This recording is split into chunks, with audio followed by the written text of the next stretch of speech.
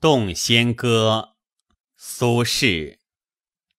仆七岁时，见眉州老尼，姓朱，望其名，年九十余。自言常随其师入蜀主孟昶宫中。一日大热，蜀主与花蕊夫人。夜起避暑摩诃池上，作一词，诸俱能记之。仅四十年，诸已死久矣，人无知此词者。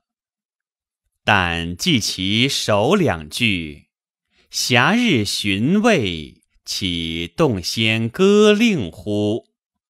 乃谓足之。冰肌玉骨，自清凉无憾。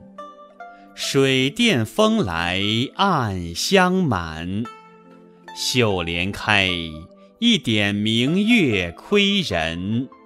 人未寝，七枕钗横鬓乱。起来携素手，庭户无声。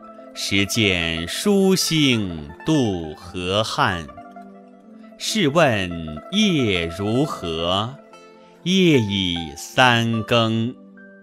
金波旦，玉绳低转。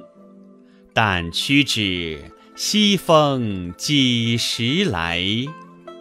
又不到，流年暗中偷换。